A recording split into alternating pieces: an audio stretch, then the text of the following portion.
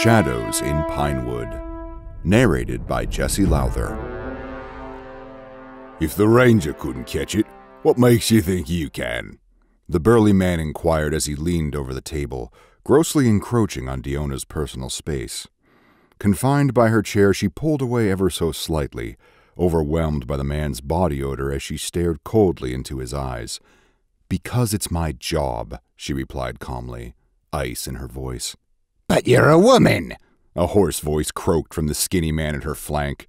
Diona jerked her head back in the other direction, trying to escape this new, equally horrible stench. This time it was the skinny man's rotten breath that assailed her nose and made her grimace. Aren't you afraid it'll eat your pretty little face? He continued in his crass dialect. Does this man simply refuse to pronounce vowels the way they were meant to? she thought to herself as she tried to mask her disgust. The other men at the table joined in as he started laughing. Well, they're clearly having a jolly good time at my expense, she thought. Diona surveyed the small inn as she ate another spoonful of utterly forgettable porridge. Outside of the seven men now hovering over her table, only two old drunkards and the barmaid were present. No help to be found there. Maybe you should just leave the hunting to the men, eh, sweetheart? The big one suggested with a sly smirk. Diona slowly moved the wide brimmed leather hat on the table in front of her a bit to the left, carefully measuring the distance from the hat to the man's face with her eyes. Ruffles, her small puppy, started growling and barking at the man from somewhere below the table. He was clearly no more fond of the company than Diona was. I mean, there's no reason risking a fine piece of woman like yourself to the claws of that beast, he continued while he leaned in closer, lazily swinging a foot out, aiming for Ruffles. All right, that's enough, she exclaimed with a loud, clear voice. She struck out with her right hand, removing the arm the man was resting his weight on from the table. As he lost his balance and fell forward, she grabbed his neck with her left hand and slammed his face into the table with a hollow thunk, barely missing the hat. In the same motion, she raised her right hand, holding one of her crossbows, produced from somewhere underneath her coat, aiming it straight at the spindly man who immediately drew back. Listen here, you bastards, she said, voice firm, staring daggers at the five other men. They were all backing away, shocked by the sudden burst of movement. The big guy squirmed under her grasp and whimpered a bit as she held him fast. I assure you, gentlemen, that I'm perfectly capable of doing my job. She held a brief dramatic pause to let the words sink in before she continued. Just as I'm quite capable of eating my dinner all by myself. She let go of her grip on the man's neck and he instantly retreated from the table, revealing a smashed nose and a face smeared in his own blood. I do appreciate the concern, but not quite as much as I'd appreciate it if you all scurried back to those holes you most assuredly came from. An eerie moment of silence went by as everyone took measure of the situation. Diona forced herself to simply remain calm and focused on producing the most menacing stare she could muster. She let her gaze fall upon each of them in turn. After what felt like an eternity, one of them finally shook his head. This ain't worth it, he mumbled as he backed out the front door, everyone else following close behind. Diona slowly released the air from her lungs in a long, soft exhale. Thank the light those fools don't know the difference between a loaded and an unloaded crossbow, she thought to herself. There's no way I could have taken them all on at once. She put the crossbow on the table as she returned to her food. Might as well just keep it there to deter anyone else who might feel like disturbing her supper. Is this even supper? She thought glumly as she looked at the gray mass on her spoon, making a face at it. That was amazing! A voice cried out behind her. Diona nearly had a heart attack as a boy came up from behind and sat down in the chair opposite her. How had she missed him? He must have sat in her blind spot. Damn it, boy, you can't sneak up on people like that, she berated him. Oh, I'm sorry, he said, looking apologetically at her while brushing brown hair out of his eyes. I'm just so excited. I've never seen an actual hunter before, he continued with a broad smile. Are you with the Inquisition? He could be no more than thirteen, maybe even younger. Hmm, she grunted, looking at him with one eye as she began eating again. Ruffles was curiously inspecting the boy, walking around him and sniffing his legs. Have you ever killed one before? a werewolf, I mean, the boy asked enthusiastically. Slowly chewing, she trained her eyes on him. What's it to you, boy? she asked at length. She could feel his big eyes inspecting her, taking in all the details of her dark red leather coat and her long brown braid falling off her shoulder. I I don't know, he said shyly. I I just thought He trailed off, clearly unprepared for this turn in the conversation. He was clearly struggling with something he wanted to say, so Diona simply inserted another spoonful of porridge into her mouth while she waited for him to muster the courage. I I want to help, he finally stammered. She looked curiously at him as he continued. I know I can't do much, but I'll do anything you ask of me. I just want to help. What is it with the people in this town? she thought to herself, as she grabbed her hat from the table and put it on her head. What would your parents have to say? she asked and stood up from the table. I don't have any, he said softly. My mother died from the flu when I was little, and my father was taken by the wolf last year. Diona grimaced, but continued reholstering the crossbow inside the coat. Damn me and my big mouth. She stood there inspecting her uniform for a little while, buying time to think. Finally, she looked directly into the boy's piercing blue eyes. All right, listen. I can't promise you that we'll even catch the thing, and if we do, the boy started rising in his seat with an ecstatic look on his face. Diona grabbed his shoulder and forcefully pushed him back into the chair. And if we do, she resumed, I cannot promise you your safety. So, no, you cannot come with me. He looked back at her with an expression so distraught, Diona was convinced she could physically see his heart breaking. I, I promise I won't get in the way, he tried weakly. Diona was already striding toward the door. She could feel herself about to do something stupid, but maybe she could make it out in time. I don't care if I die, he tried again with more tenacity. His voice was starting to sound desperate. I just want that damnable beast to never hurt anyone else. Diona stood in the doorway, one hand on the door, frozen in place. Damn it. Just a few more steps, she thought. Just keep walking. She turned on her heel and stalked right back to the boy, put her face uncomfortably close to his, staring him straight in the eyes, inhaling sharply. The boy stared back unabashed but clearly uncertain, unsure of what was about to happen. You can help me plant traps, she finally said, but that's it. I will not bring you on the hunt, she continued, emphasizing the word not with the harshest voice she could produce. The boy's face lit up as that stupid smile returned. Do I make myself clear? She almost shouted at him. Barely able to contain his excitement, he started nodding, first slowly, then vigorously. Yes, of course, ma'am, he replied, trying and failing to contain his excitement. She took a moment to inspect him. He was skinny, short, and, judging from his clothes, clearly very poor. What is your name, boy? she asked, doing her best imitation of her old drill sergeant from back in the chapel. Peter, he replied with regained confidence. All right then, Peter, follow, she said as she turned and left out the front door, closely followed by her new ward and Ruffles. A few hours later, Diona stood in a small clearing deep in the pinewood forest, bordering the small village. The cool autumn winds brushed against her face. It made the loose strands of hair, that never quite seemed to fit in the otherwise tight braid, dance around her head. With her eyes closed, she took in the fresh late afternoon air, enjoying the serene silence of nature. But I don't understand. Why are we hunting the werewolf while the sun is still up? Peter was carrying a heavy bag with all her gear, his clumsy feet mashed through the forest underbrush with a crackling commotion. Torn from her moment of peace, she sighed heavily, rolling her eyes into the back of her head. Peter joined her, fumbling with a long rope, and continued, I thought they only came out at night. Diona turned to face him, I thought I made it very clear that we are not hunting anything, she said as she helped him sort out the rope. I will be hunting the wolf, while you will be safe in your bed, she clarified, grabbing a big metal bear trap dangling from Peter's hip. Give me that, before you hurt yourself.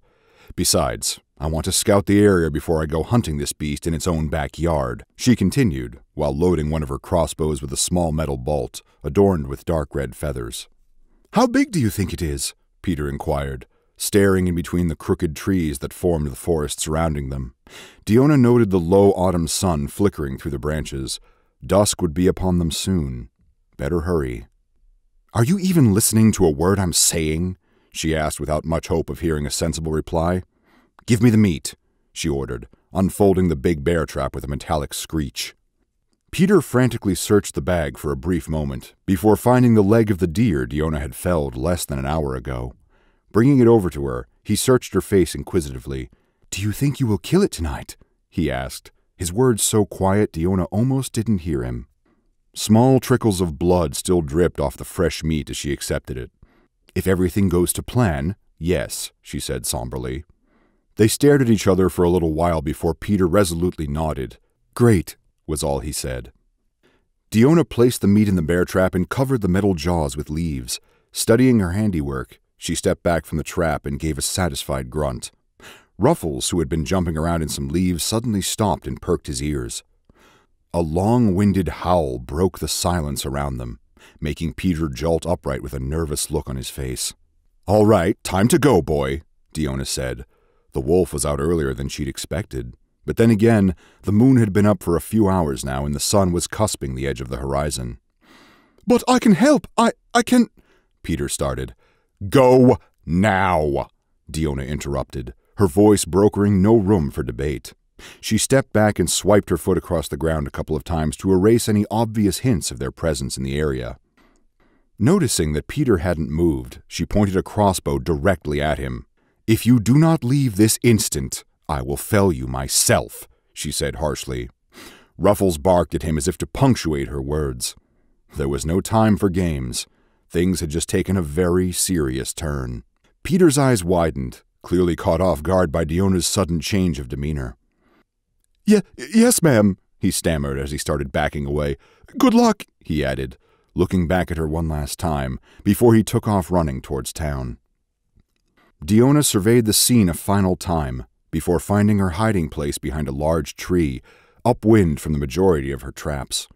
Checking her weapons and gear to make sure everything was ready and in order, she spoke quietly and calmly to Ruffles.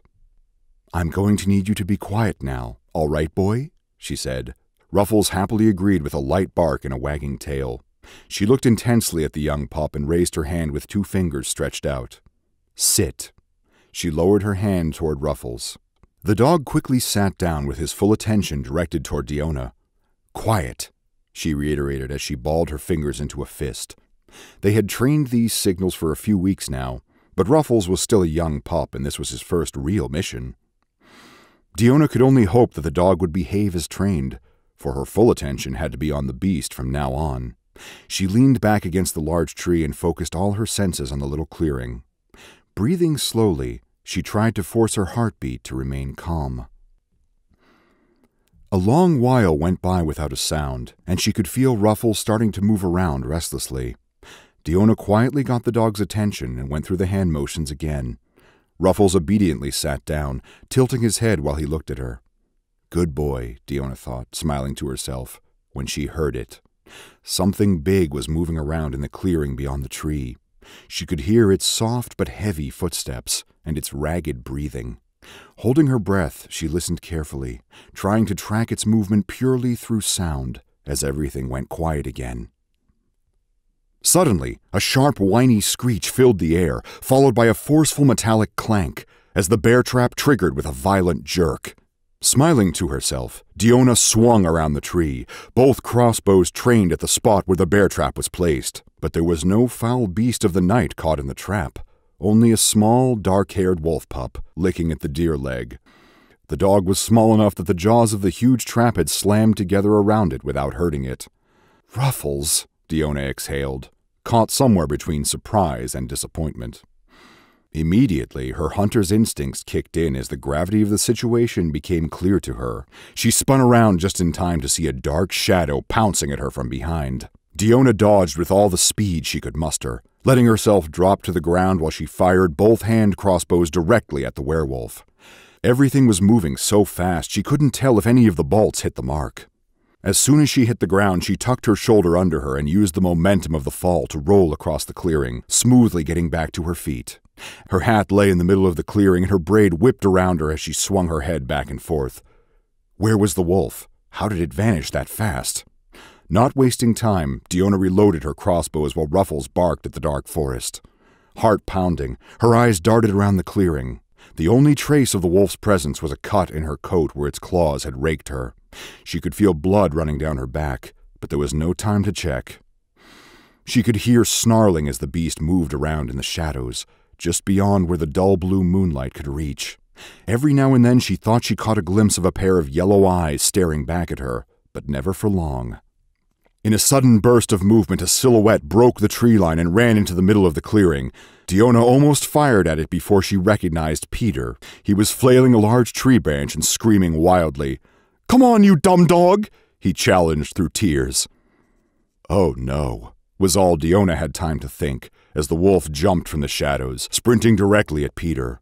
The large beast was in front of him before the boy even registered what was happening. It lashed at him with one of its large clawed hands, launching him back towards Diona. She noticed that one of the werewolf's giant paws stood planted right in the rope noose trap she had laid out earlier. She hadn't had time to finish the trap, so the other end of the rope just lay in the middle of the clearing. Diona threw herself forward, diving onto one knee as she unloaded her crossbows at the monster, both bolts striking true this time. One impaled a forearm, the other pierced deep in between two ribs. Dropping both crossbows to the ground, Diona spun using her knee as a pivot. In a single smooth motion, she drew and threw a slim silver knife directly at its head, using the momentum of the spin as she came back around to face the wolf. The knife flew right in front of the wolf's head, barely missing it, and hit a tree behind it with a thunk. It didn't matter. She had just needed the wolf to stay in place. With the other hand, she grabbed the end of the rope, yanking with all of her might, and pulled the wolf off balance as the noose tightened around its ankle. She would never be able to hold the much larger creature, but if she could confuse it, she might have a chance to regain control of the situation. The wolf snarled wildly at Peter, who lay a few feet ahead, but before it could attack him again, Ruffles cut it off. The little diminutive dog placed itself between the enormous wolf and the whimpering boy, barking at the huge creature with no fear. The wolf stepped forward and roared at Ruffles, who seemed unfazed in the presence of the terrifying creature. Diona flung another knife at the wolf, this one burying itself in the beast's chest all the way to the hilt. The creature whimpered and drew back, clearly hurt by this blow. Diona stared intently at the wolf. That had been her last weapon. She was defenseless now. Luckily, the wolf knew nothing of this.